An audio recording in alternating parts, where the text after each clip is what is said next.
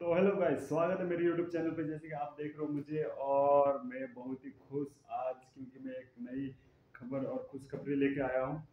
मेरा जो एक आ, मैं जो जिसका वीडियो देखता हूँ एक सौरभ जोशी बोल के जो काफ़ी अच्छे ब्लॉगर काफ़ी अच्छे इसी मौसम में बनाते जैसे कि आँख बंद कर करके वो वीडियो बनाते काफ़ी अच्छा वीडियो बनाते और डेली ब्लॉग डालते उनका।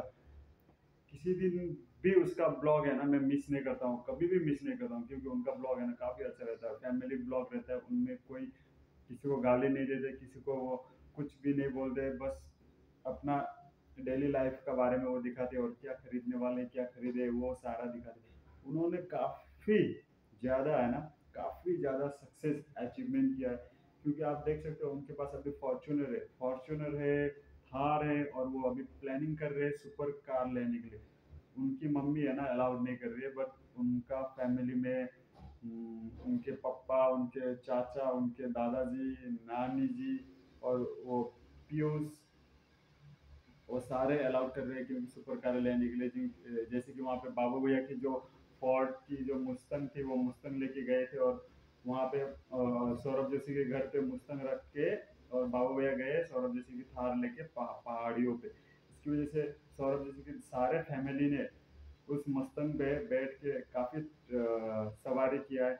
तो फिर उन्हें काफ़ी पसंद आया वो स्पोर्ट कार और उनका मतलब कहना क्या है, जैसे कि स्पोर्ट्स कार में जो ग्राउंड क्लियरेंस रहता है ना, वो काफ़ी नीचे रहता है। तो उसकी वजह से शायद वो थोड़ा माइंड डिस्टर्ब है बट उनको काफ़ी पसंद आया और वो लेना भी चाहते हैं। और मैं भी चाहता हूँ सौरभ भाई, आप ले लो आप जो भी लेना चाहते हो ना कुछ सोच समझ के लेते हो तो हम्म, ले लो। अगर आपके पास पैसा है तो क्योंकि ज़िंदगी एक ही बार मिलती है तो ज़िंदगी में शौक भी एक ही बार ही मिलता है पूरा करने के लिए। अगर पैसा है तो शौक पूरा करना ज़रूरी है क्योंकि आपने भी काफ़ी स्ट्रगल किया है नए नए में। जैसे कि आप काफ़ी ड्राइंग की वीडियो डालते थे एवरीडे और व्यूज़ नहीं आता था बट स्लोली स्लोली व्यूज़ आना शुरू हुआ। तो अभी आप एशिया की हाँ सॉरी सॉरी इंडिया की नंबर वन ब्लॉगर इंडिया की नंबर वन ब्लॉगर में आप काउंट होते हो और काफ़ी अच्छा लगता है।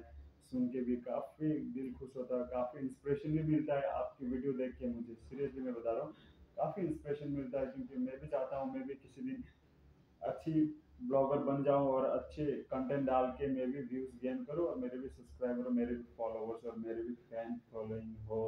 ये मैं भी चाहता हूँ। गाइस और सौरभ जोशी भाई को मैं दिल से थैंक यू बोलना चाहता हूँ क्योंकि उनकी ब्लॉग ही है जो बहुत पहाड़ियों को, बहुत ज़्यादा पहाड़ियों को इंस्पिरेशन देती है उनकी ब्लॉग देख के और काफ़ी सारे ब्लॉगर निकल गए अभी उनको देख के सीरियसली काफ़ी सारे ब्लॉगर निकल गए।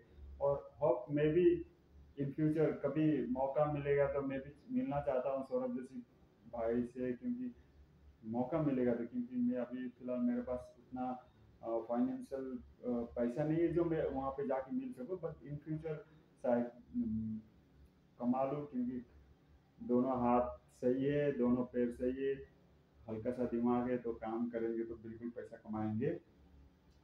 और मैं क्या चाहता हूँ, और एक दूसरी बात, जैसे कि अगर मैं सौरभ भाई से मिल गया, सौरभ भाई से मैं अपने स्केच अपने स्केच ना बनवाना चाहता हूँ, क्योंकि मैं रिक्वेस्ट करता हूँ उनको, अगर वो मेरे स्केच एक ड्राइंग बना के देंगे तो मैं बिल्कुल अपने घर में फ्रेम बना के उसको रखूँगा और वहाँ पे मेंशन कर दूँगा काफ़ी बड़े अक्षरों में जो सौरभ भाई ने बनाए बोल के। सो गाइस और उनका पापा है ना, उनका पापा भी काफ़ी मस्त, सौरभ भाई का पापा भी काफ़ी मस्त है काफ़ी एक्टिव और काफ़ी फुर्तीला इंसान है।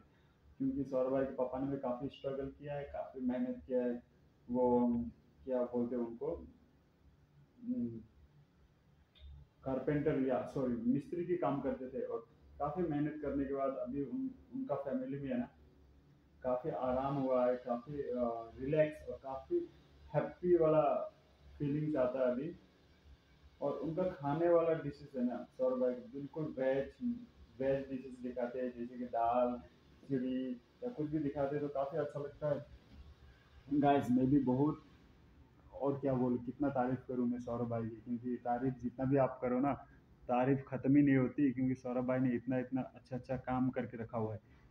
और अभी वो नए घर भी बनाने वाले घर भी मस्त बनने वाला है मेरे को लग रहा है। बट वो अपडेट नहीं दे रहे घर की क्योंकि पहली बार जो जिस, जिसने सौरभ भाई ने एक दो एक दो वीडियो में उनका घर का जो अपडेट दिया था, उसकी वजह से थोड़ा बहुत वीडियो में देख पाया हूँ और हम सभी ने देखा होगा।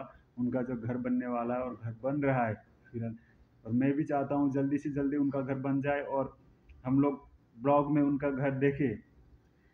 कैसी घर बनाया है सौरभ भाई ने। और सौरभ भाई, मैं दिल से चाहता हूँ आपसे मिलने के लिए, और कभी भी मौका मिलेगा तो मैं बिल्कुल आऊँगा आपसे और आपसे रिक्वेस्ट करूँगा जो मुझे बस पाँच मिनट टाइम दे और आपके साथ बात करने का और कुछ सीखने का, आपसे कुछ सीखने का। क्योंकि काफ़ी छोटी उम्र में आप इंडिया के नंबर वन ब्लॉगर भी बन चुके हो। काफ़ी अच्छा लगता है सौरभ भाई और मिलते अभी अगले वीडियो में बस इतना ही कहना था दिल से। और गाइस जिसको भी सौरभ भाई का वीडियो अच्छा लगता है और जिसको भी सौरभ भाई पसंद है तो प्लीज़ वही मुझे सब्सक्राइब कर सकते हो। और अगर मेरा वीडियो भी पसंद आता है तो मेरा वीडियो भी आप देख सकते हो। अगर पसंद नहीं आता तो फिर आप डिसलाइक भी कर सकते हो, अगर पसंद आता है तो फिर आप लाइक भी कर सकते हो गाइस बस इतना ही कहना था और आज की वीडियो इतनी ही समाप्त करता हूँ. Okay bye have a safe day